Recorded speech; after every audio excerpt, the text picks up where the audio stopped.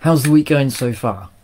Always a good question to kind of pause halfway through, see how things are going. But also, I wanted to share a couple of things with you with regards to definition. So, definition determines action. And maybe as we think about this, and as you think about this after this broadcast, that you can make certain changes that would really make the rest of the week better and the weeks ahead, either for you, for your team, or for both. So just pause with me for a moment as we stop and have lunch.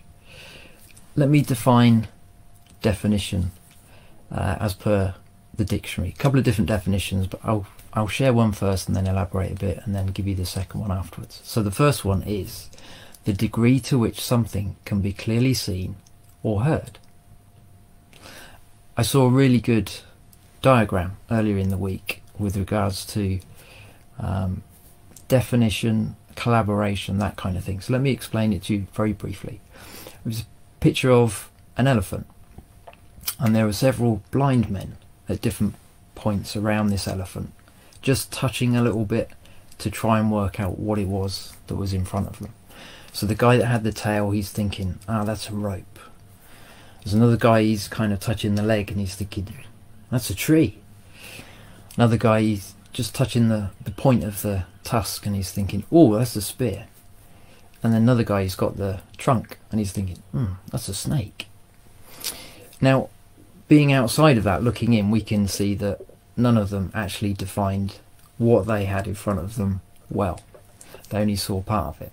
And the point that the diagram was making was even though we can be experts and very experienced in a certain thing, when we're trying to tackle something bigger than ourselves, like a, a complex problem, there's benefit in collaborating with other team members, bringing other people in, get other perspectives, because we don't necessarily see the big picture. If they all collaborated on what they thought they saw, maybe together they'd realise that they had an elephant in front of them. So definition can be important from that element. The second definition of definition that I wanted to share with you is the act of defining or of making something definite, distinct, or clear. So think about it for a minute. Definition determines action. So, what is it that we are defining as important in our lives? What are we heading towards?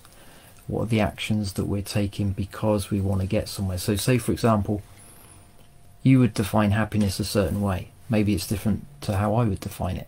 Doesn't mean either of us are wrong.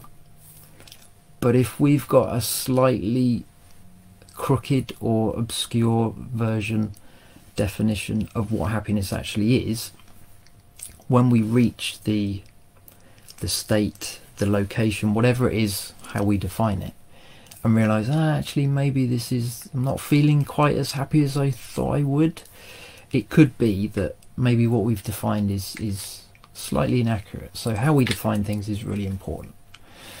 Another part of that would be we could picture something that's really scary, or we could think, yeah, not interested, don't want to go there at all, and we can shy away from it.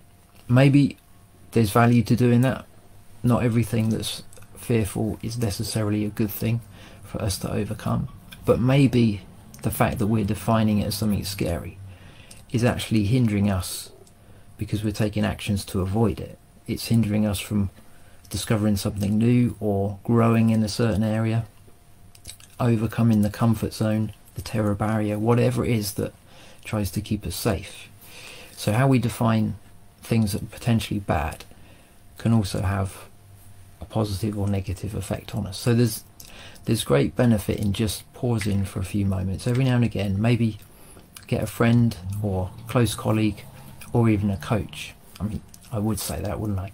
But someone around you that you can just kind of check in on definitions of certain things that you hold as valuable and important. And also define them by all means because we need clarity.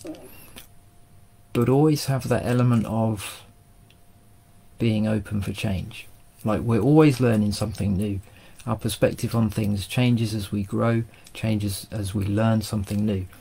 So how we currently define something now may well be different next week, next month. So that's worth thinking about.